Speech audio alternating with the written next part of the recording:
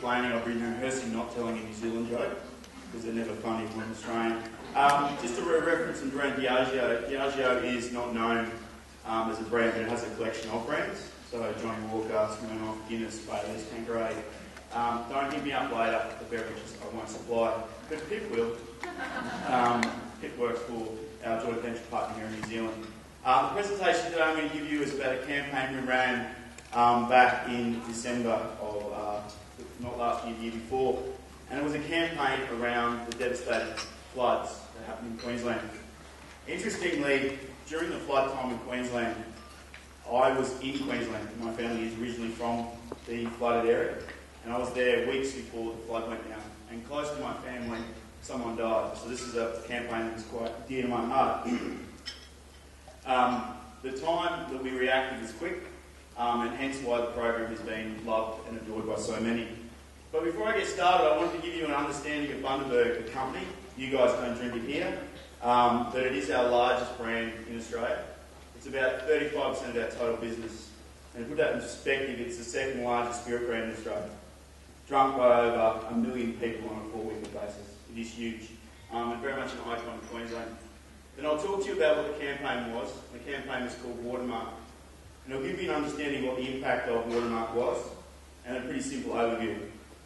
Let's talk about Bundaberg Distilling Company. The history of this brand is pretty, is pretty iconic and pretty interesting. Founded in a small town, uh, about four hours drive from Brisbane. Um, for reference, that's about 2,000 kilometres north of Sydney. Um, that town's around 40,000 people. Um, the town was founded on sugar cane farming. And if you guys know much about sugar cane farming, when you crush sugar cane, you get a byproduct called molasses. Molasses is thick and it's black and it's eaten predominantly by cows for its high sugar content. In 1885, the cane farmers had too much of it, so they decided simply to make rum. A pretty ingenious solution to a pretty horrible position. So in 1888, as you do, you found a uh, distillery after seven blokes meeting in the pub and decided it's a good idea. what better way to start a booze company, right? In 1885, you can only imagine alcohol wasn't a particularly accepted product, so this was what, quite a controversial move. By, 19, by 1894, it was broke. So just six years after incorporation, the distillery was shut down. At that moment, a group of wealthy farmers and landsmen decided that wasn't good enough. This was a good idea, it's worth investing in. So they put more money in, and since 1894, we pretty much haven't stopped making rum. There's two or three examples of when the distillery shop stopped making rum. It was burned to the ground twice after being struck by lightning. And there was a drought so bad one year there was no sugar cane to harvest and therefore no molasses to make rum. But bar those three years or those three times, the distillery has made rum since the 23rd of February 1894. And from that rich tradition comes the brand. So this is the site. Uh, it's the single largest working distillery in Australia, producing roughly about a million cases of rum a year, so a million 12 packs, that's 12 million single bottles. To put that in perspective, um, Captain Morgan, uh, the second largest rum in the world, makes a total of 7 million cases globally. Bundaberg rum makes a million cases just in Australia. So it's the seventh the size of Captain in one singular market. We don't export, it is contained exclusively in Australia. There are some dribs and drabs around the world, mostly by Australian blokes and ladies who drink in the church in London. see the river, see the river at the back there? That's called the Burnett River. And as I'll talk to you about later, the Burnett River is a river that flooded. At the back of our distillery, I don't know if I've got a pointer, but if I did, I'd point to the bond in about 11 o'clock. If you look at 11 o'clock on the dial, you'll see some bonds at the back of that river. That river rose so high, that water hit the back of the bonds. The river rose so high, see those boats in about 10.30? See that house behind them? Those boats ended up at that house. So this place was devastated. The water, the water came within 100 metres of our front door and shut us down for two weeks. These are the cane fields that surround our location. All the core ingredients of Bundaberg rum come within a spitting distance of the distillery. Like the sugar, like the water, uh, like the power, local everything. The effluent we create and the dunder we create is, is taken back to the market and used for farming. So we're a local business, locally crafted. This is a molasses well. It is a three metre deep pit of molasses. It smells like licorice and it is delicious. it doesn't look so delicious, but trust me, if you ever get the chance to go to Bundaberg, um, have a look. This is a fermenter. Um, very boring, um, but interesting because that's where we ferment alcohol. This is a column still. For those who know much about alcohol production, you ferment the yeast and the molasses. You then distill it through a column still, and you pull the alcohol off, usually at about 80% proof. Not the best for drinking. You usually drink stuff at about half that. We then stick it in these massive 55,000 to 70,000 litre bags, and it is left to age for a minimum of two years. In Australia, unlike any market in the world, rum must mature for a minimum of two years. So it sits in these giant beasts, waiting for um, thirsty blokes to consume. And then we bottle it on site. So it's a completely contained process, from uh, hand, land to hand, whatever you want to define it, but it is an amazing production site. It is Diageo's largest single site in Asia Pacific. So Asia Pacific Diageo is India to Japan, China to Australia. This is our single largest working distillery. So it's a big business. So let's talk about Watermark. I'm going to show you a video later that captures more than what I could ever tell you, but let me just tell you some personal experience. I was on holidays, it was Christmas, I've gone up to see my family in, in Queensland. I'm out in a rural town called Laidley. It's raining heavy. I mean, really heavy. Unprecedented. We've had 10, 15 years of drought. We haven't seen rain like this in years. And it is bucketing down. And I'm like, this is serious. We're driving regional roads looking at, at the dams that are set up. I'm this is, this is not looking good. I return to Sydney where I live, and it begins to flood. My parents-in-law who live in a little town called Laidley are being daily talked about around evacuation. The water is rising and there are boats in the street. The distillery goes under, we stop production, we go into crisis mode. From there it escalates. And suddenly the dam that sits at the back of a large town called Brisbane, which is roughly the same size as Auckland, is so full they need to release water. From there the entire town of Brisbane floods and the Brisbane River takes out thousands of people. Several people died, many lost their homes. It was a significant crisis. We had very little time to react, and what you're about to see is the result of about 30 people who came together completely outside their day jobs. All agencies worked um, for free. Um, and all of our staff that work full time work outside their normal jobs to pull this together from the day this flood went down. In 13 weeks, we executed this program. So check out the video. This is the video from our Cannes entry. So um, that's why it kind of delivered by an ad agency to be a larger award. When the rains come down and the waters rise and flood the land, the waters will peak at a certain point. This point is called the watermark. Authorities in Queensland are grappling with the worst natural disaster in the state's history. This is without doubt our darkest hour. This is the greatest flood that has ever hit Australia. On January 26, 2011, floods devastated more than 75% of Queensland, Australia, an area the size of France. A small city in the north called Bundaberg was among the worst hit. Bundaberg is home to one of Australia's most loved brands, Bundaberg Rum, a brand that has been lifting Queensland's spirits for over 100 years. So when that spirit came under threat from the rising waters, we felt a duty to raise it up once again. Rather than just donate money, we decided to create a product that would become the symbol of defiance and resilience and help rebuild Queensland's community spirit. At that point in time, obviously, the question is do we go again? It was the values of not letting disaster like that destroy the company that has lived through the ages and lived through the values of Bundaberg Rum. It really shows that Aussie character, that true spirit of Australia that says we will be there, we will go after it, and we will make it great again. So just two days after the distillery was drained, our first act was to create Watermark, a permanent tribute to the towns fighting back from disaster. Proceeds from every bottle sold went to help rebuild people's homes, and each bottle carried a message which read, We crafted this limited edition bottle to mark the point where the floodwaters peak, to mark the iron will of ordinary people, to mark those who gave to others when their own lives were covered, to mark the spirit in every town on the hard road to recovery. We crafted this bottle to mark the day when people came together, had a drink, a laugh, and kept going. To remind future generations of local fortitude, we went to the 16 areas most devastated by the floods and placed a plaque at the watermark on the walls of their local pub. As a symbol of unity and togetherness, we held the Watermark Music Festival. 16 simultaneous music festivals held in the worst areas at midday on April 16.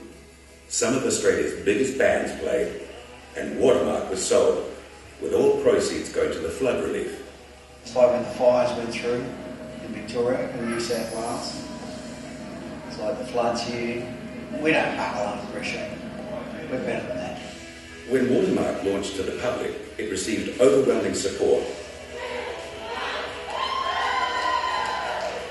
People all over Australia took up the cause for Queensland and joined the spirit. Never keep it, so I hand down to my children. The product then went on sale nationwide. It sold out within seven days, and we knew the nation was behind us. Queensland is on the road to recovery, and Watermark is here for good, as a symbol of resilience, and to remind us that no matter how high the water rises, the human spirit will never be broken.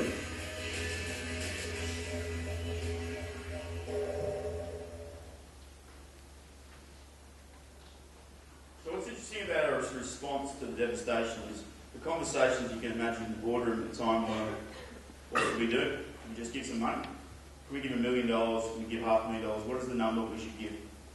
You know, and we have companies in our market that are giving tens of millions, twenty millions. And the reality is the cost of fixing is in the billions. So what is going to half a million do for anyone? Absolutely nothing. What is the opportunity for a brand like this, part of the DNA of, of the state to do? Actually to raise the spirits. And that's actually what we believe is our purpose as a business. It's great times, great experiences for people. So we decided pretty much in the midst of the flood that we would wait for the flood to go down and help people get over it. When we challenged the agencies to come up with a campaign, they came up with what, what I think is an amazing um, sentiment, which is called watermark. What's interesting about the word watermark is it's true. If anyone's been through a flood, there is a literal physical mark left on walls. And from there, that's usually fairly permanent, and people will always remember that. The watermark campaign has gone on to be used by our Thai team in the response to the Thailand floods as well. So this idea has been transferable globally, showing the proof of what a great idea looks like. So what I wanted to do now is to kind of get a sense of the idea. I'll take you through the impact. And that's not really the point, let's be honest. This wasn't about impact. This was about the opportunity to do something good for the community. It was by nature altruistic. We weren't seeking any impact for the brand, for the business. We were only seeking some smiles in people's faces. But nonetheless, there has been impact. We raised circa $937,000, um, which we put into flood relief activities. We bought boats for the SES in Bundaberg. We invested in those venues that were, were, were, um, were wet. And we put on a series of 16 events. This represents a staggering um, 100, well, 1,000% more than we would have otherwise given and puts us in, a, in top um, 16 contributors to the flood effort. Oh, top three, sorry. Which we would never have achieved if we'd just given money. Um, so the average donation was $278,000. As you can see, um, we were in the top three alongside contemporaries like the CommBank with post um, profits that are six to seven thousand times greater than ours. In terms of the PR benefit or impact, which is what you guys are mainly interested here, we achieved about 7.1 million impressions in Queensland alone. So we believe we achieved about $4.5 million worth of media value. And here are the impressions in the key areas. And these are the list of the key iconic areas of the flood here. What we were trying to do was have local impact. This was not meant to be about national PR publicity. This was about the raising of the spirits in these Queensland towns. And this is the, um, this is the size of the different areas. You'll see some areas affected had populations of 373 people. We didn't really care how big the population was. It was about whether or not they were affected by water. The brand impact. Um, we put roughly 7,300 people through events, um, through the concert series. As the video said, we did 16 simultaneous events in on one day in 16 different venues. The logistical challenge of that um, was extreme. We had trucks um, with stereo equipment and, and mobile stages um, driving around Queensland, backing up the venues that didn't previously have any audio equipment. These are only weeks ago poured water out of their venues. So 16 events on a single day was an extreme challenge. We had extremely good talent as well. Uh, I don't know if you guys know much about Australian music, but Spider reformed to do this. Grinspoon did it, the Whitlams. There are many Australian iconic bands that came and did it. Um, what, I, what I've got is some quotes from individuals, and I'll let you read those. But these are the these are the quotes from people, um, local bloggers, um, etc. Whilst commercial gain wasn't the intention, um, we believe there is some positive benefit to the brand. So this is the global impact, um, more meaningful for the agencies we work with than ourselves, but ultimately some great recognition of a great campaign. You guys can read top to bottom the list of awards that this campaign's won, um, culminating in achieving the um, titanium lion in Cannes. Um, so in, in, last year's Cannes, Watermark, we won two Cannes, was the only Diageo campaign globally recognised. Put that in context, Diageo globally makes some pretty killer ads. We have Johnnie Walker, who we've ever seen the Keep Walking project uh, and programs, and Smirnoff with the great advertising as well. Um, but this is great recognition for a group of agencies who did this for nothing. And they, they are now using this, obviously, to kind of inspire and motivate their staff and also win, win additional business. So I want to finish a quick overview. That's a fairly speedy run through of, the program, and I'm happy to kind of panel later take questions. But really simply, it was the right thing to do. You know, it started from the right place. It wasn't about doing something to try and create a brand benefit. It was doing something because we believed that we had a role in the community to play. It supported the community need. It didn't serve ourselves, it served the community, which I think is critical. And I think when journalists reviewed the campaign and the stories we were trying to put out, they knew that's what we were trying to do, so they were interested. It helped the people involved physically helped the people involved. Um, the 16 pubs that went underwater, the people that work at those pubs, the people in that community all got benefit from this program. The brand benefited. And our business massively benefited. The, the sense of personal pride across the entire Diageo family, both locally and globally, for us doing this, is unmeasurable. Just doing this makes your business proud to, to be part of the community. We all take from the community profit. But when you put something back, the, the people who work for you just feel proud. And when we finished this campaign and we shared these sort of stories with people in our business and what we did and the speed at which we did it, people you could just see were just proud that they work for a company who would do this at this pace. And that's pretty much it for me uh, on Watermark. A campaign that we felt came from the right place that delivered some great, um, great impact for the brand and our business. Thanks.